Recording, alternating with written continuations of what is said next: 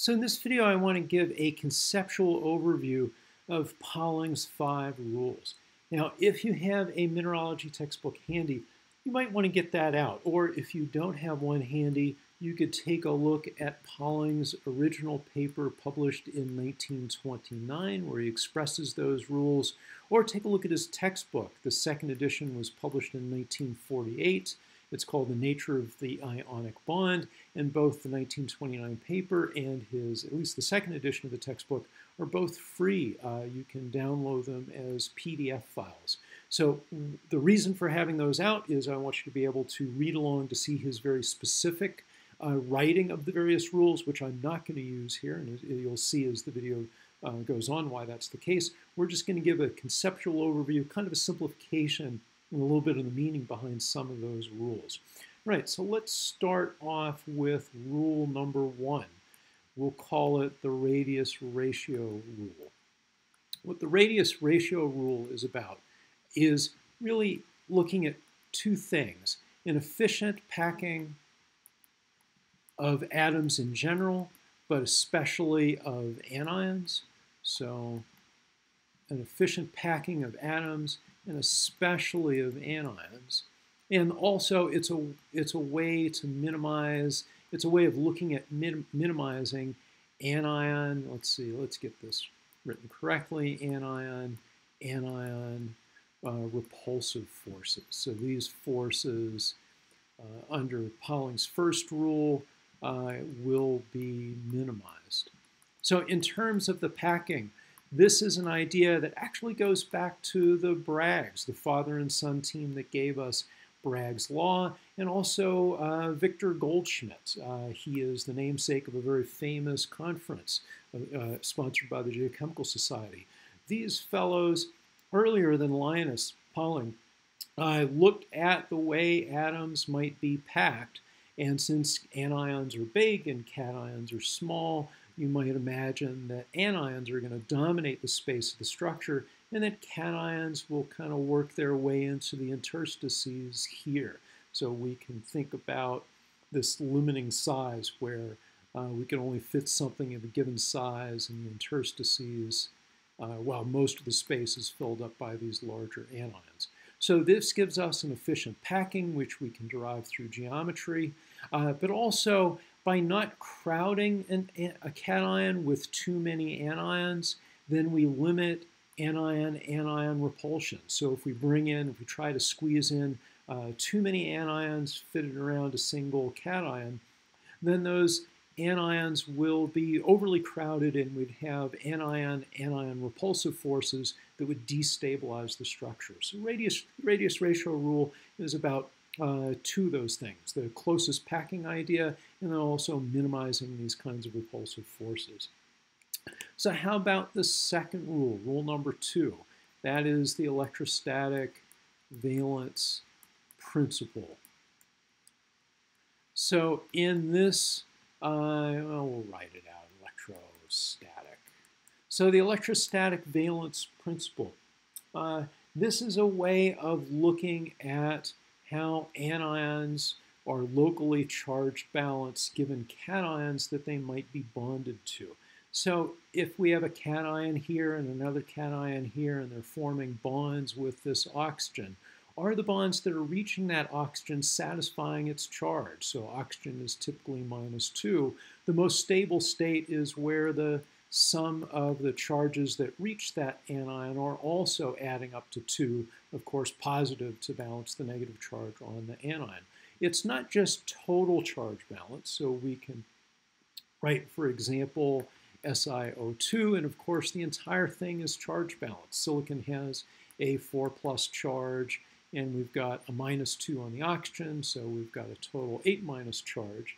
Uh, this is really more about local charge balance. And again, looking in particular at the anions. Then there are rules number three and four, which we can fold together because they're really one and the same thing. Rules three and four are about minimizing cation-cation repulsive forces. So minimizing cation, cation, repulsive forces. So you can see that uh, rules number one and two are focused on the anion. Now with rules three and four, we're looking at the cations. And in the case of cations, let's raise the chalkboard. Uh, let's take a case where we have, let's say, a silica tetrahedron and another silica tetrahedron over here. And in the middle of those is, well, we're calling it a silica tetrahedron, so it must be a silicon atom. So a silicon atom with a 4 plus charge. That's a pretty highly charged cation.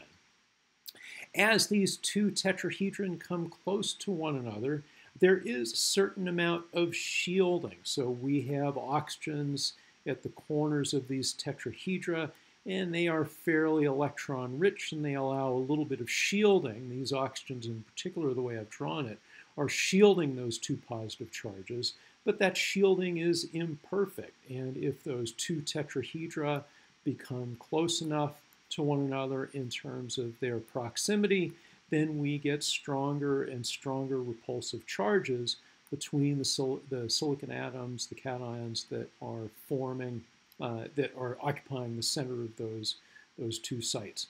So rules three and four are simply saying that if we're going to have tetrahedra, they can share edges uh, but they are unlikely to. They're more likely to share corners. If they're going to share corners at all, that keeps a further distance from the cations compared to taking the same tetrahedra and allowing them to share a corner. Let's see if we can draw this. So we have this guy here, and we'll outline it in red. We've got a shared edge right there. So we've got tetrahedral 1, tetrahedral 2, and it's sharing that shared edge. That brings those cations in closer uh, proximity to one another, and that increases the repulsive charge. So you, if you were to try to do this in a structure, then that edge might break apart and would go back to maybe corner sharing, or in many structures, there's no uh, sharing of polyhedral elements at all. all. Uh, and then another uh, corollary to this is that the more highly charged the cation that is occupying that uh, central location in those tetrahedra, then the greater the repulsive charge, and then the less likely you would have uh, shared edges, let alone shared faces, or uh, even shared corners. So uh, three and four are really all about minimizing those cation-cation repulsions by keeping highly charged cations in, these very small polyhedra as separated from one another as possible. And then finally, let's erase the chalkboard again. We have rule number five, the rule of parsimony. And we'll also look at this in another video. Uh, to be parsimonious is to be stingy. And so I think what Linus Pauling is getting at is that uh, crystals are going to build themselves uh, in as simple a way as possible. So they'll build themselves uh, simple structures when possible. Or place, uh, phrased in another way, the, the, the, the simpler the structures, then, then to some extent the more stable. Uh, and by simple structures, what we really mean here is that there are certain things that are few in number. So let's say we have uh, an octahedron. Let's um, draw an eight-sided figure here. Oh, let's do that again. So let's say we have something with eight sides. So here's the top of an octahedron. Here is its bottom part. And then we will let that link up with a tetrahedron. We'll draw that tetrahedron over here. And then maybe that tetrahedron might share corners with another tetrahedron that's over here. So now we can think of constituents in a couple of different ways. We can think of constituents as being the kinds of shared oxygens. We've got a shared oxygen here and another shared oxygen here. Or we could think of the constituents as these polyhedral elements themselves. We have a tetrahedra, uh, we'll call it T2, here's T1, and here's an octahedron over here. And then there are the cations that would occupy the center of these fellows uh, in here, and they could all be different even though I've drawn them in the same color. So the rule of parsimony just means that there's, in most crystals, there's not an unlimited way of having, um, of, of arranging these kinds of atoms. They're going to be limited in the kinds of oxygens. Maybe there'll only be one type of oxygen where um, all of them are bonded to similar kinds of cations, or maybe you'll have two types of oxygen. So in this case, we have an oxygen that is linked up to a tetrahedra, and this one to an octahedra. So that could be, we'll call it O1. And then this guy we can call O2. It's linked up to two tetrahedral cations. But is it's not going to be an infinite number. There's not going to be, you know, 23 different octahedra. There will be one or two or three types of oxygens, but not much more than that. And the same idea with cations. There will be a couple of different polyhedra. You might have a system, uh, a crystal where there are just tetrahedra uh, and octahedra and nothing else. Uh, maybe you'll have some cubic elements thrown in for good measure, but there aren't going to be an infinite variety or even just a very large number of polyhedra in which cations can be situated in the center of. It'll be limited number, and they'll be limited in terms of their arrangement. So you'll have arrangements where maybe the octahedra are linked up with each other, or they have a habit of sharing corners with other tetrahedra, but there's not going to be an unlimited variety or even a very large number of ways of making these linkages or having different kinds of atoms occupy different kinds of sites.